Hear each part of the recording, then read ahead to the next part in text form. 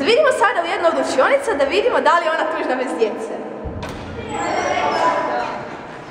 Ups, što je ovo? A zašto vi niste na proslavi? Mi smo u kazni. Sigurno ste u kazni jer pričate svi u isti glas. Ne, zbrisali smo s testa iz Hrvatskog pa smo sad kažnjeni. Što radite u kazni? Učite hrvatski? A kao? Mm, Dobro, a šta onda radite? Kartam. Slijezamo se. Ti malo neki malo odspavali. E, probudi se, došli su novinari, bit ćemo na telki. Šta? Prije glagova spavati.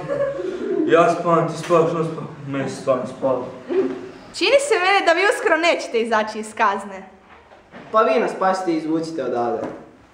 Pjevajte da raspoložite učiteljicu. Mi nećemo pjevati, jer to će učiniti zbor i Dijana Mršišić, a pjevat će Dario Dobrotu i dok se igramo ti i ja.